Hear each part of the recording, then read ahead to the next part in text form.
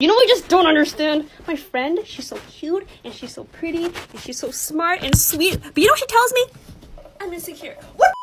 Who? Who told? Who made you feel insecure about yourself? Okay, sometimes I just want to, I want to punch her in the face, right? Just bring her back down to reality because she's shit, and whoever told her that she wasn't, roundhouse kick to the face. Seriously.